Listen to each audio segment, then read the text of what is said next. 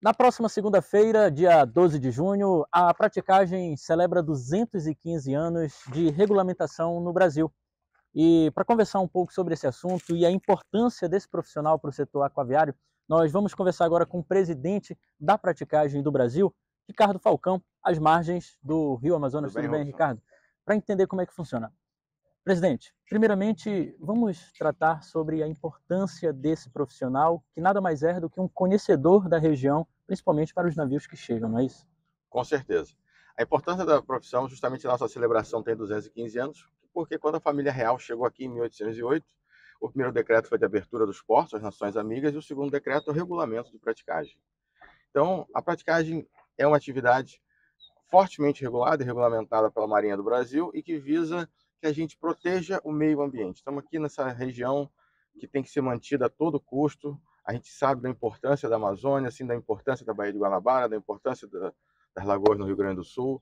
E as nossas acessos aquaviários precisam ser mantidos para que a gente não tenha poluição, para que a gente não tenha acidente, para que a gente proteja a população ribeirinha, para que a gente proteja as populações indígenas, o pessoal que depende até da economia que está numa região. Um porto não pode parar, como aconteceu lá naquele navio Guaidar de boi que virou lá no Pará, e o navio está até lá. Uhum. Então você constrói um porto, é um investimento de infraestrutura de 500, 600 milhões, às vezes um bilhão, para você atender uma região econômica que está atrás, uma atividade forte de produção, exportação, importação, você não pode ter esse porto simplesmente parado. Então a segurança da navegação é vital para um país que depende de 94% da sua economia, ela é transitada pelos, por navios.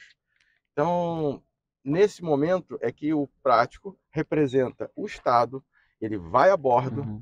e ele toma todas as decisões para que as manobras sejam 100% seguras.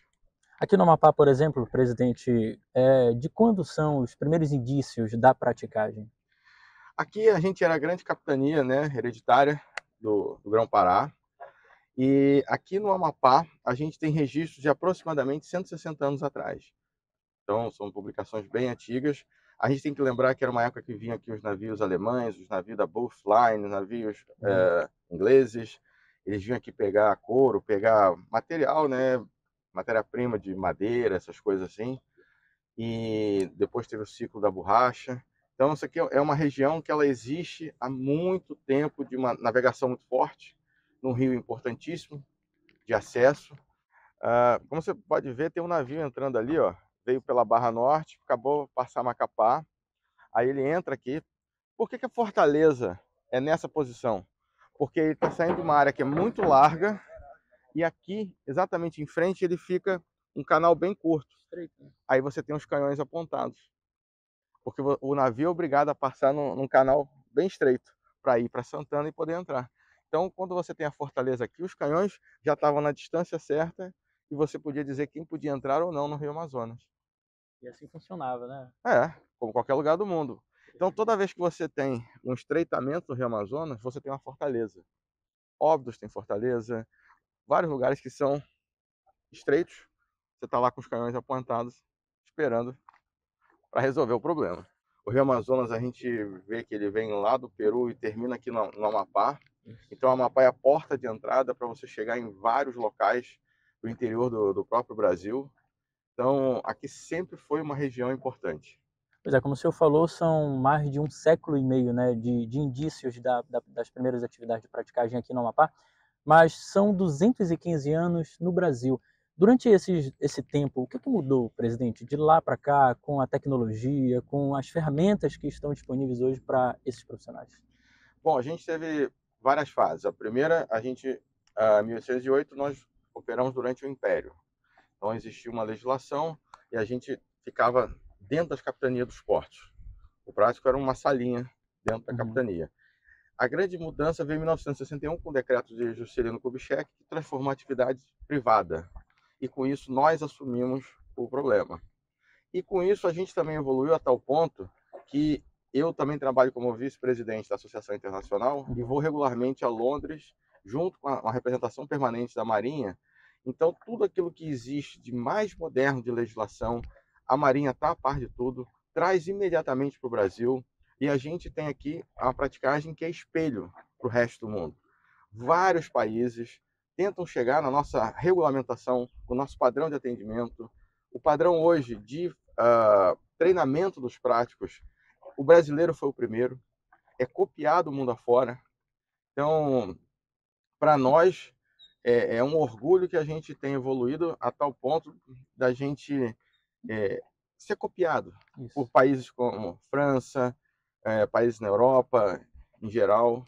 Então, recentemente nós estamos com um Instituto Praticagem do Brasil, com centro de simulações lá na, na capital, lá em Brasília, e já vamos começar a dar oficialmente treinamento a praticagens do resto do mundo.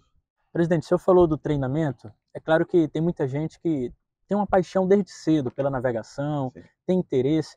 Como é que faz? Como é que é esse processo desde o início, quando a pessoa sente ali aquele interesse é, por essa área profissional? Como é que como é que funciona esse acesso até chegar a essa capacitação? Ele é extremamente transparente. Ele está disponível na, no site da Diretoria de Portos e Costas da Marinha do Brasil. Então você consegue ali as provas antigas. O regulamento chama Normas da Autoridade Marítima Norman 12, que regulamenta o serviço de praticagem ali você, lendo ela, ela é bem didática, ela te mostra o que, você tem que se formar primeiro, tem que ser no mínimo um mestre arrais, você uhum. pode tirar essa licença aqui na capitania, você tem que ter curso superior. Então, se você está imaginando fazer prova, veja os pré-requisitos, cumpra os pré-requisitos, veja o material que você tem que estudar e tente. Agora, não é simples, porque você tem uma profissão que atrai gente muito bem formada. Então você tem lá, temos prático do Amapá, nascido do Amapá? Uhum. Temos. Nós temos um prático que nasceu aqui, fez todo o caminho e hoje opera como prático aqui na região. Então eu acho que a gente tem que ter essa, essa esperança. Espero que vários jovens se interessem pela profissão. E aqui a praticagem do Amapá é a maior praticagem do Brasil. 25% dos práticos estão aqui, porque é a maior área de navegação do mundo. São quantos no país? somos 618 e especificamente aqui na Amazônia 160. A segunda maior tem 50, que é Santos. Então, aqui é, Santos é o maior porto da América Latina, mas o maior número de pratos, a maior navegação. Quando a gente fala aqui na praticagem do Amapá, a gente fala em 1.300 milhas náuticas de navegação. Dá 2.000 e não sei quantos quilômetros. Quando você fala lá fora, qual a maior praticagem que você acha? Rio Mississippi, 200 milhas. Aqui, 1.300. Então, só aqui a praticagem do Amapá é seis vezes maior de área de portos e, e tudo do que qualquer outro lugar no, mundo. Essa é uma dimensão que eu vejo que as pessoas também não percebem do que, que é a Amazônia. Isso. A Amazônia é uma área gigantesca. A, a nossa Amazônia acaba a Europa inteira ocidental dentro da Amazônia. Então a gente é uma, reunir todos aqueles países aqui dentro. E por isso que o mundo olha com tanto cuidado para nós. Presidente, alguma programação prevista para o dia 12? Dia 12, o que a gente está solicitando a todo mundo é que peça os navios para que façam um grande apitaço. Então, que no nascer do sol, meio-dia e no pôr do sol, os navios deem vários apitos longos para a gente poder celebrar a data. Tá certo. Presidente, Obrigado. Muito obrigado pela oportunidade. Conversar com o senhor. Conversamos agora aqui com Ricardo Falcão, que é presidente da Praticagem do Brasil, falando sobre a celebração de 215 anos de regulamentação dessa atividade no país. Aqui, ó, majestoso Rio Amazonas.